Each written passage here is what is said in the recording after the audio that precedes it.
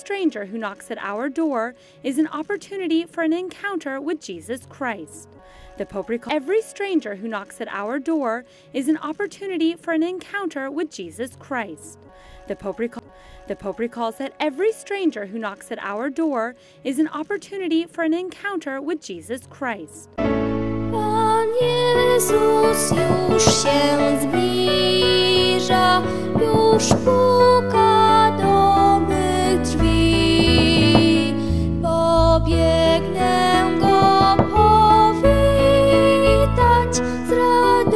Zazdrości serce dla... Akbar!